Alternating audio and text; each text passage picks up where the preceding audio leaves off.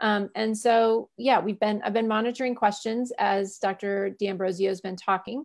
And um, one that we've gotten several times is follow-up MRIs. After you receive um, Gamma Knife or CyberKnife, any sort of radiation treatment, how long should you be um, going and getting follow-up MRIs? And, you know, we've had this question, like I said, multiple times, and it's been people who are a year out, people who are five years out, 10 years out, even 15 years out. Should they, you know, what how how consistently should they be doing that at those different time frames?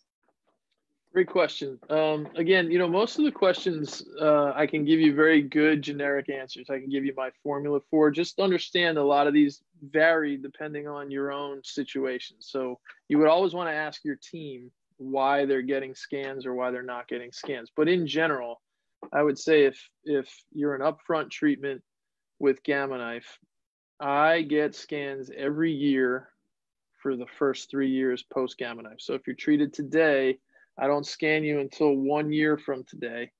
And then I do that three times. Um, and I also will get hearing examinations every year, but I'll stagger them. So I'll do the hearing test six months from now and then every year thereafter. So every six months, you're getting an objective assessment of what's going on. Um, that can change I used to get, when I first started, I got scanned six months after Gamma Knife. And what I found was on the six month scan, patients looked great, but their tumor always looked a little plump. And it was counterintuitively a good thing because what was happening is the tumor, as you know, Gamma Knife doesn't work right away. Radiation surgery, CyberKnife doesn't work right away. There's a lot of biological injury that happens to the tumor on purpose that causes inflammation and cell death. So schwannoma cell death, which is good. You want it to die. So what happens is it kind of gets a little inflamed, and sometimes people get if they came in with some balance problems or some other things, they could get a little irritated during that swelling period, and then the swelling period naturally goes away. By one year, you know what you're dealing with. So a lot of my patients came in where they had a scan in 2015 and then they had a scan in 2017 and then in 2019 and each one of them showed a little growth. So we had this pre-existing mri series of growth. So we plotted a line. We're like okay you're you're growing two millimeters per year. You're 40 years old. We can't let this grow anymore.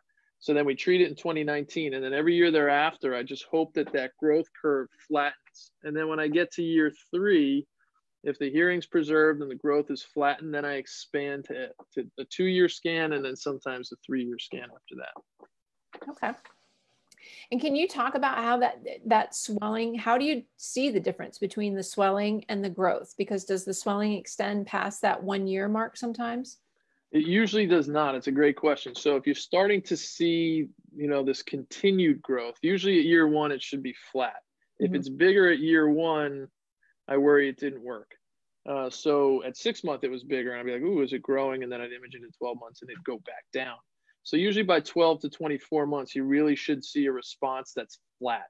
So you should not, again, this is all caveat, but more often than not, you do not see continued volume growth beyond a year if it's working. Okay. And again, that's a very general statement. Sure, sure, that makes sense. And with that, then, um, how about symptoms? Like when would you